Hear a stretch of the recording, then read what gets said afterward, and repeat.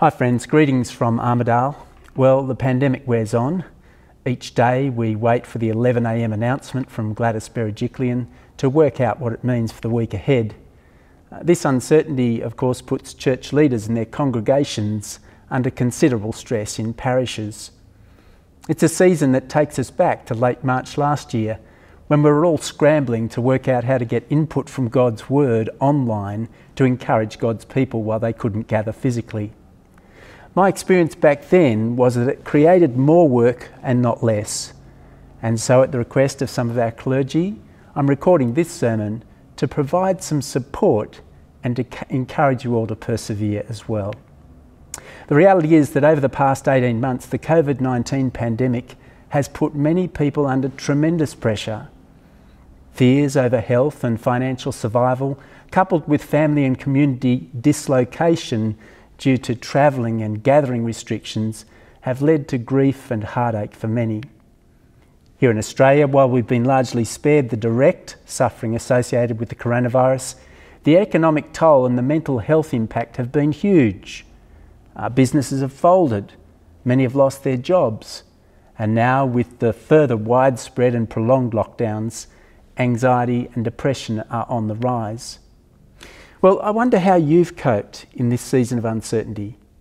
As the pressures come on, where have you found your comfort, rest, and security?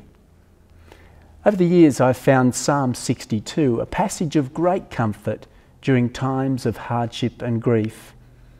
Written by King David, this psalm was composed in a season of intense pressure, and so it comes to us as the fruit of adversity. In this psalm, we find David working on his head talk to keep a right perspective, then encouraging others to do likewise. He begins by stating what he knows to be true. Look with me at verses 1 and 2.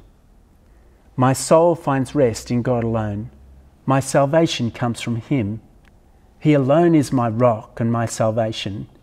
He is my fortress, I will never be shaken. The rest David speaks of flows from a heart attitude that waits silently for God. It's an expression of total trust in Him, having been through life threatening situations time after time in his early years. David knew that his salvation came from God. Whether it was being delivered from wild animals while protecting sheep, or from Goliath when fighting the Philistines, or even from the hand of King Saul over many years as he sought to kill him, God had always proved to be the rock David could stand on, the salvation he could count on, and the fortress he could take refuge in. Now, I don't know about you, but I find David's testimony in these words very comforting. The thought of finding rest for my mind when it's noisy with concern, of being sure where I stand with God when everything's uncertain, of being secure and protected by Him through the storm at hand, all of that is reassuring. And I find reading these words comforting and praying them helpful. Lord, help me to find rest in you alone. Thank you that my salvation comes from you. Thank you that you alone are my rock, my salvation, and my fortress. Please help me to stand firm and not be shaken. Friends, these are verses worth learning by heart and bringing to mind often if we're God's people. Well, David himself found recounting these truths helpful, especially when the going got tough. In the second half of his reign as king, David faced a very difficult season of opposition from enemies. Look at how he reflects on this in verses 3 and 4. How long will you assault a man? Would all of you throw him down, this leaning wall, this toppling fence? They fully intend to topple him from his lofty place. They take delight in lies. With their mouth they bless, but in their hearts they curse. The description of himself as a, a, leaning wall suggests a time later in King David's reign. The lies and betrayal could be well referring to the uprising of his son Absalom, who sought to take his father, take, to kill his father and take his throne. These events in 2 Samuel 15 to 19 saw David flee for a time once again pursued for his life. And it's not hard to see how such a time could give rise to Psalm 62. Now, while you may not have experienced the same life threatening challenges as David, you may still be able to relate to the sense of feeling under attack due to adverse circumstance. Perhaps you've endured relational conflict that's left you wounded and wondering how you can go on. Perhaps you've faced serious health issues that have left you uncertain about whether you would even survive. Or maybe you've lost your job and discovered the stress of not knowing how you would pay your bills and feed your family. I know of one Christian woman who was a top notch pilot with Qantas. Uh, she was the first pilot, in fact, to fly a jet non stop from Sydney to New York. Then the pandemic hit. Overseas flights stopped. Just like that, she lost her job. Again, it can happen so easily, can't it? Indeed, things like this have happened regularly to people all over our country and in our church families over the past year as well. Our lives, in one sense, are no different to David's in terms of the challenges life throws at us. The longer we live, the more we will face. The question is, how we will we respond to these challenges? King David, when faced with his current situation, returned to God the rock. And he does it by talking to himself in the light of what he already knows to be true. Look with me at verses 6 and 7. He goes on, Find rest, my soul, in God alone. My hope comes from Him. He alone is my rock and my salvation. He is my fortress. I will not be shaken. My salvation and my honour depend on God. He is my mighty rock, my refuge. I wonder, do you ever talk to yourself when you're under pressure? I do sometimes. Come on, Rodney, have a go. Careful, Rod. Take it steady. Stick at it, Rod. Don't give up. Do you ever do that? Well, maybe you do, maybe you don't. But I'm actually encouraged that King David talked to himself when he was under pressure. He says, Find rest, my soul, in God alone. My hope comes from Him. He alone is my rock, my salvation. He is my fortress. I will not be shaken. Very similar, of course, to the statement he'd made in verses 1 and 2. But now David is instructing himself in how to respond to hardship. This is David working on his head talk before cognitive behaviour therapy was a thing. The repetition of the phrases God alone, He alone, serve to underline that God is the only rock that can be relied on, the only one who can save, the only one in whom refuge can be found. And to further emphasise this, he now adds another phrase My salvation and my honour depend on God. Okay? No one else, just God. He is my mighty rock and refuge. Well, what a steady place to stand. This is head talk worth sharing, don't you think?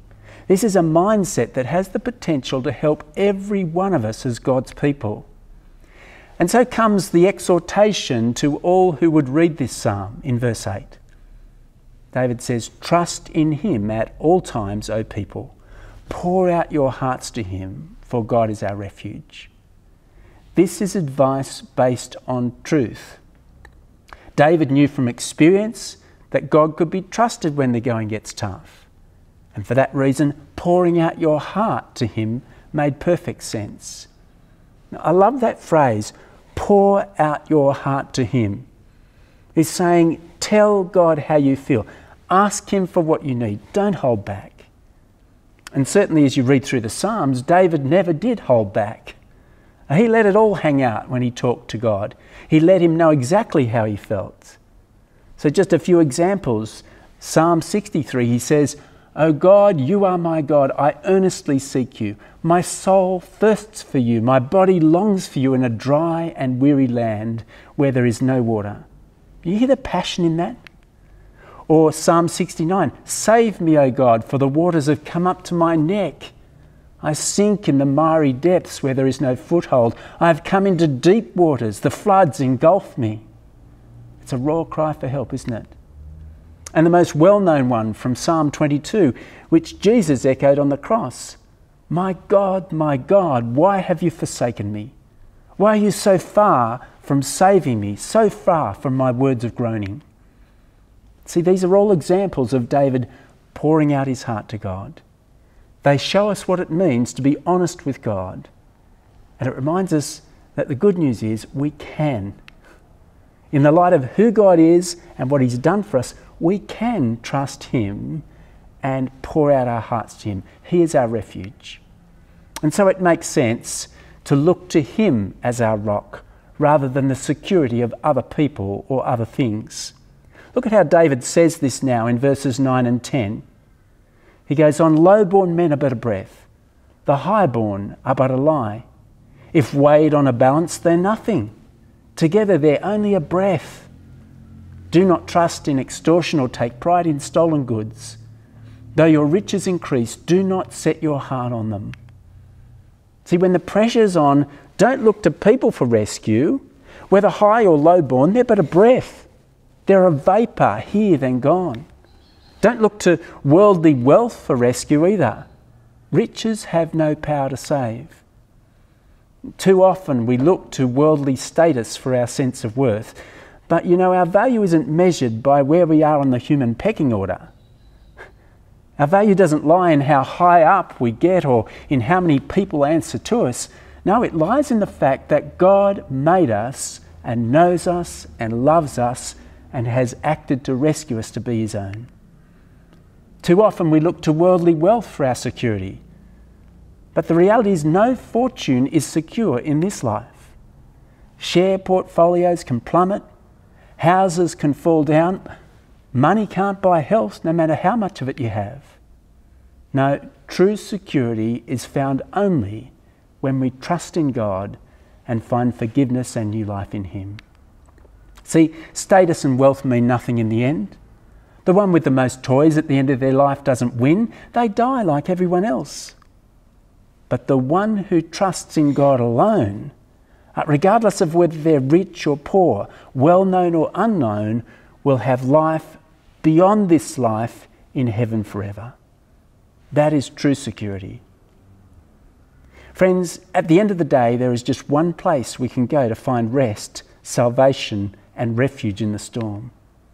And David tells us why in his conclusion.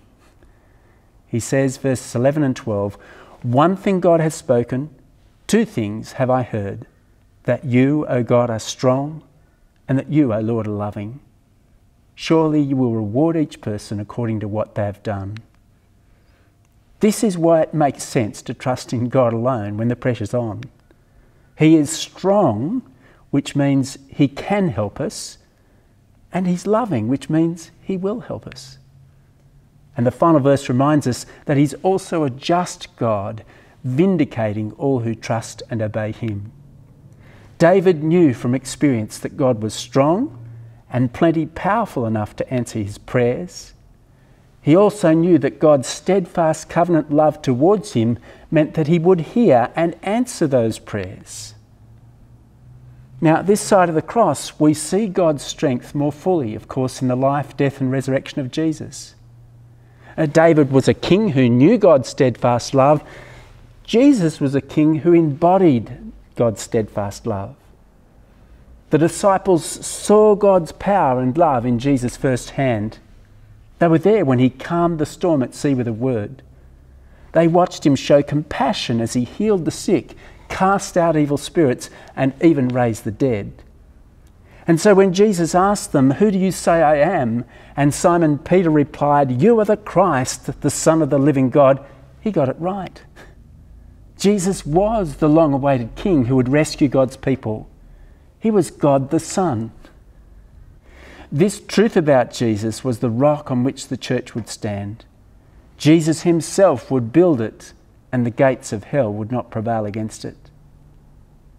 Now, I don't know about you, but I find that profoundly encouraging. Jesus Christ is our rock, and he will build his church. The COVID 19 season has brought many challenges to the church around the world. Over the past few weeks, I've been speaking to ministers in Sydney after seven weeks lockdown and others in Melbourne who've been in lockdown for more time than not over the past 18 months. Here in rural New South Wales, we've had it pretty good, relatively speaking, when it comes to being able to physically gather. But with this new Delta variant in this second wave, that may well now change. periodic lockdowns may become the pattern for us going forward as well. Friends, the reality is that these challenges for churches are likely to continue. Yet Christ is still building his church. This difficult time has highlighted the importance of finding creative ways to feed people from God's Word. It's made us realize the vital importance of keeping in touch with and caring for one another. And I think it's made us hungry for Christian fellowship, that we might not take for granted the privilege that it is to gather as His people. So, this has been a refining time for the church. And I believe that God will bring us through this season even stronger. Not through anything we've done, but because Christ will build His church. He alone is our rock and our salvation. In Jesus, we know God's steadfast covenant love more fully than David did.